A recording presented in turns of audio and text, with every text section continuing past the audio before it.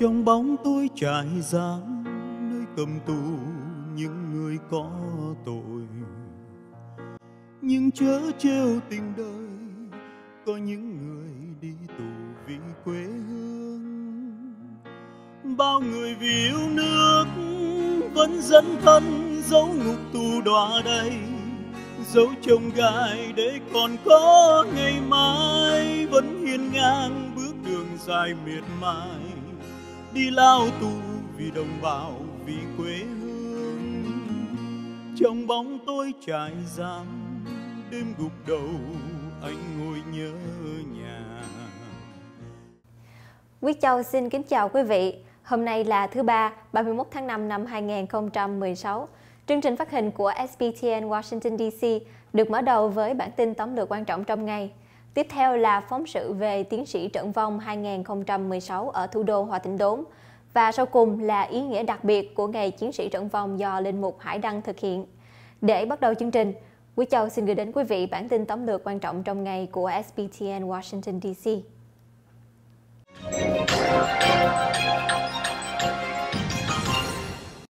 Kính thưa quý vị, tiến sĩ Rupert Noydek, sáng lập Ủy ban Cap Anamore và Hội Mũi Xanh, đại ân nhân của thuyền nhân Việt Nam, vừa vĩnh viễn ra đi lúc 8 giờ sáng ngày hôm nay, thứ ba, 31 tháng 5 năm 2016, sau 3 lần bị mổ tim. Ông Nôi Noydek sinh ngày 14 tháng 5 năm 1939, hưởng thọ 77 tuổi. Vào năm 1979, khi cao trào vượt biển tị nạn bằng thuyền từ Việt Nam lên cao, thì ở Pháp có lập Ủy ban một con tàu cho Việt Nam để vận động các nước Tây phương cứu giúp.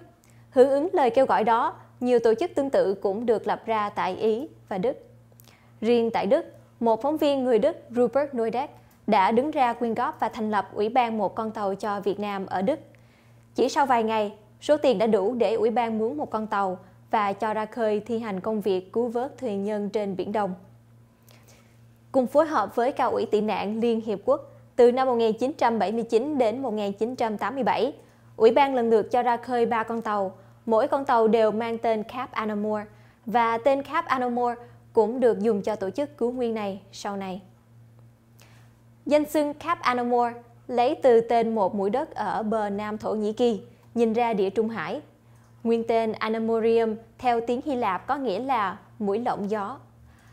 Thành viên ủng hộ tổ chức này có các nhân vật nổi tiếng của Đức như Henrik Bull, Helmut Schmidt, Alfred Biolek, Bruno Ganz, Norbert Blum và Peter Skolator. Trong thời gian hoạt động trên Biển Đông, tổ chức này với ngân sách 22 triệu mark Đức vớt được một 11.300 thuyền nhân trên 226 ghe và đưa họ đến bến bờ an toàn. Đa số được sang định cư ở Tây Đức. Nhà vật lý Stephen Hawking đang bối rối bởi sự nổi lên của Donald Trump. Nhà vật lý lý thuyết nổi tiếng Stephen Hawking có thể nắm rõ các hoạt động của vũ trụ, nhưng ông nói rằng ông không thể hiểu được sự nổi tiếng của Donald Trump. Hawking nói với chương trình Good Morning Britain của ITV ngày thứ ba rằng ông không có lời giải thích nào cho sự thành công của ứng cử viên tổng thống đảng Cộng hòa này. Ông ấy là một người có vẻ ngoài, mỹ dân để thu hút những cử tri khó tính nhất. Hawking nói như thế trong phát biểu được ghi âm trước để được phát sóng. Khi chương trình bắt đầu lúc 6 giờ sáng theo giờ London hôm thứ Ba. Hawking, người nói qua một hệ thống máy tính hoạt động bên cái má của ông, cũng đã yêu cầu cử tri Anh lựa chọn ở lại trong Liên minh Âu Châu trong cuộc trưng cầu dân Ý ngày 23 tháng 6 tới. Các nhà hoạt động quyền lợi động vật phá vỡ cuộc tập họp của Sanders tại Oakland. Một nhóm các nhà hoạt động quyền lợi động vật đã làm gián đoạn một thời gian ngắn một cuộc biểu tình ủng hộ Bernie Sanders ở Bắc California khi họ nhảy qua rào chắn và cố gắng vội vàng đến buộc thuyết trình. Nhóm an ninh của Sanders ngăn cản nhóm người phản đối trước khi họ có thể đến bên ứng cử viên tổng thống dự định của đảng Dân Chủ, khi ông đang nói chuyện với các người ủng hộ tại Frank Ogawa Plaza trong nhà thị chính của Oakland vào ngày thứ Hai. Video về vụ việc cho thấy hai vệ sĩ ngay lập tức bao quanh Sanders, trong khi nhân viên an ninh gần đó nhanh chóng còng tay những người biểu tình và hộ tống họ ra khỏi cuộc biểu tình. Thậm chí còn giữ hai chân và hai tay của một người và khiêng đi. Sanders tiếp tục bài phát biểu của mình trong vòng vài phút sau sự ngắt quãng. Sáng thứ Hai, Sanders đã cùng với diễn viên Danny Glover và thị trưởng San Francisco Jane Kim trò chuyện tại đền thờ Allen, lịch sử của một hội thánh Baptist ở Oakland. Giám đốc vườn thú Cincinnati binh vực việc giết chết con khỉ đột để cứu một đứa trẻ. Ngày thứ Hai, 30 tháng 5, 2016, Giám đốc Sở Thú Cincinnati binh vực quyết định giết chết một con khỉ đột để cứu một cậu bé 4 tuổi khi cậu bé đã bước vào triển lãm và bị sự tấn công của chú khỉ. Sự việc đã cứu được cậu bé một cách an toàn. Con khỉ đột được tên là Harabe đã bị giết chết ngày thứ Bảy bởi một đội phản ứng nhanh đặc biệt của vườn thú vì lo sợ cho sự an toàn của cậu bé. Video cho các du khách quay cho thấy thỉnh thoảng con khỉ đột hình như bảo vệ cậu bé, nhưng cũng kéo cậu qua hàng rào nước cạn. Giám đốc Tiền Maynard nói con khỉ đột bị hoảng loạn và mất phương hướng bởi chấn động trong 10 phút sau khi không còn gần cậu bé nữa. Walmart tăng cường các nỗ lực trực tuyến tại Trung Quốc như là chìa khóa cho tương lai.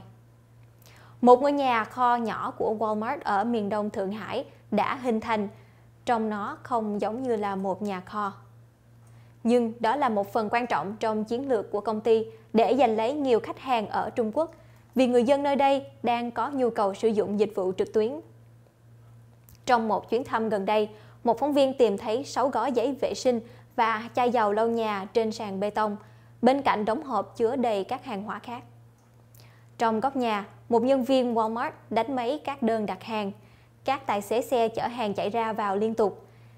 Tải hàng hóa lên xe để chuyển giao cho các tòa nhà chung cư trong vòng vài dặm. Đó là một trong 250 trung tâm liên doanh thương mại điện tử Jinhaodian của Walmart đang sở hữu và hoạt động tại 200 thành phố, chủ yếu tập trung ở 8 thành phố lớn như Thượng Hải và Bắc Kinh.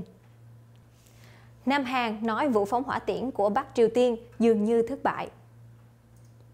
Một vụ phóng hỏa tiễn của Bắc Triều Tiên có khả năng thất bại vào ngày thứ Ba, theo giới quân sự của Nam Hàn. Đây là vụ thử mới nhất trong một chuỗi các thất bại gây lo ngại gần đây, rằng Bình Nhưỡng đang nhanh chóng hướng tới mục tiêu, sở hữu một tên lửa đầu đạn hạt nhân có thể bắn đến châu Mỹ.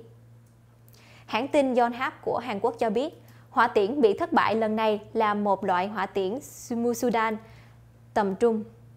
Nếu đúng như vậy, đây là lần thất bại thứ tư của Bắc Triều Tiên trong nỗ lực phóng thử nghiệm thành công tên lửa mới, vốn có khả năng bắn tới các căn cứ quân sự ở xa của Mỹ tại châu Á và Thái Bình Dương. John Hap dẫn lời một nguồn tin chính phủ giấu tên cho biết tên lửa đã phát nổ tại một bể phóng di động ngay khi nút khởi động được bấm. Lực lượng Iraq tiến vào Fallujah trong khi IS đánh bom làm chết 24 người. Các lực lượng Iraq bắt đầu đánh vào thành phố Fallujah vào hôm thứ Hai, khi một làn sóng đánh bom được cho là của nhóm nhà nước Hồi giáo ở Baghdad và gần thủ đô Iraq làm chết ít nhất 24 người. Đây là một phần của cuộc tấn công để đánh tan quân IS từ Fallujah và lấy lại thành phố ở phía tây Baghdad. Thành phố này bị quân IS nắm giữ trong hai năm qua. Cuộc tấn công vào Fallujah được sự hỗ trợ của quân bán quân sự và sự hỗ trợ trên không của liên quân do Mỹ dẫn đầu, lần đầu tiên được bắt đầu khoảng một tuần trước đây. Các trận chiến để giành lấy thành phố chiến lược này có khả năng là một trận chiến kéo dài với các lực lượng Iraq đến từ từ để giảm thiểu thương vong cho dân thường.